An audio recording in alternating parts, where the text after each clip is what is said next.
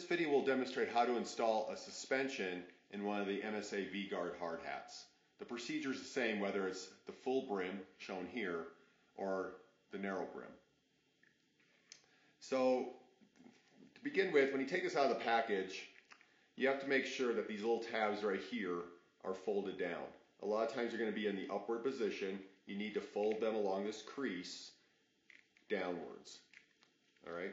Then you want to make sure that your straps here are centered. You want to form a nice X. You don't want those all tangled up and you know forming different lines in there. Make sure they all converge in the center. And then you're going to orient the front to the back of the helmet and make sure that the adjustment where we, you would adjust the headband faces the back. Now here's an important thing. I've seen some people out in the field who will put this in upside down and it will fit in upside down. So what will happen is this adjustment will be jammed inside of here and you're not going to get a really comfortable fit. So you want to make sure that when you put this in here, the headband adjustment is coming out. So when you're done, it's going to align outside of the helmet like this so you can have an easier adjustment.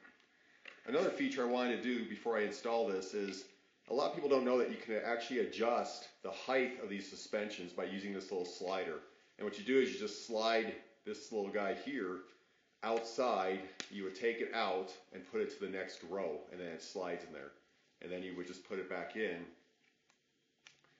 depending on where you want it, and slide it in there. So make sure those are equal though on all four corners. Uh, and the JSP has a similar adjustment. So uh, you know, adjust that to your, your desire.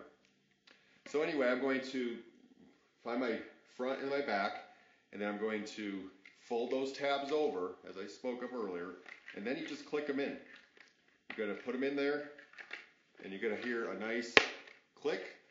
You're just going to go around and click in the second one, click, and then you're going to go to the third one, making sure it's folded over again, click, and then the last one.